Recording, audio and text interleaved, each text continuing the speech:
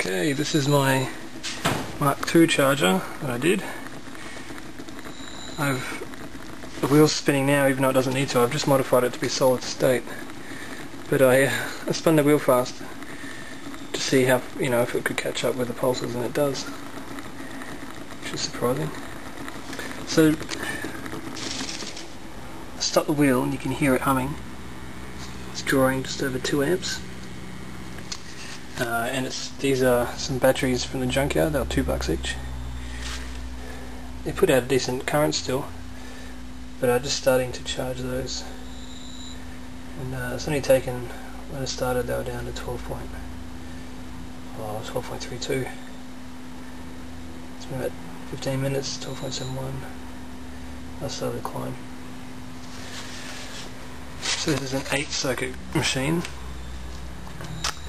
Um, see if I move the magnet you can hear the different changes in it. And truck's in the background anyway.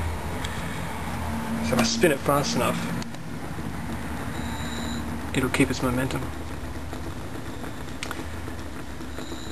So I guess the only good point about that is um, we don't need the wheel anymore, but people still like to look at it I guess.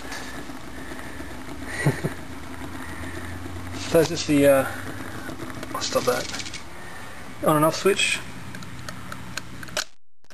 Everything turns off, when I turn it back on, straight away, no wheel moving, nothing, it's a solid state. Is a little modification I made for it, I think it runs better. Alright, that's it, have a good one.